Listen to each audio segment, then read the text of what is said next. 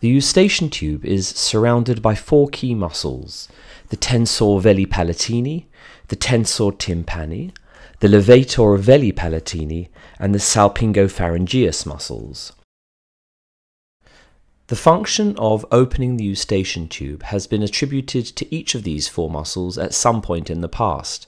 However, it is now widely accepted that opening of the eustachian tube occurs solely as a result of the function of the tensor veli palatini muscle.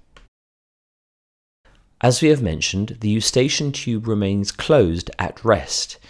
It is during actions such as swallowing, yawning, and sneezing that the eustachian tube opens. Closure of the eustachian tube occurs as a result of recoil of the elastic fibres within the eustachian tube, as well as extrinsic forces exerted on the wall of the tube by the surrounding tissues.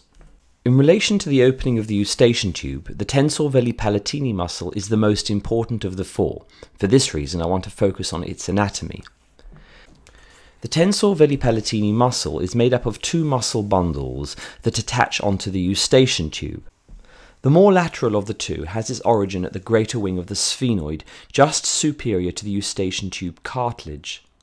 The muscle descends until eventually it converges into a tendon that wraps around the hamulus of the medial pterygoid lamina and eventually inserts into the palatine bone via the palatine aponeurosis.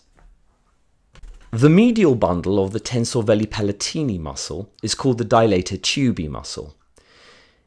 Its origins are directly on the cartilaginous portion of the eustachian tube, and its fibres also descend, eventually blending with the lateral bundle.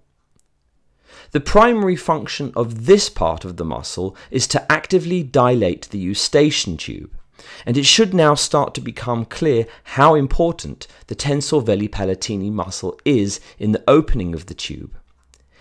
Any disruption to the structure of the tensor veli palatini muscle, either at its origin, the sphenoid, or at its insertion, the palatine aponeurosis, will inevitably affect its ability to open the eustachian tube.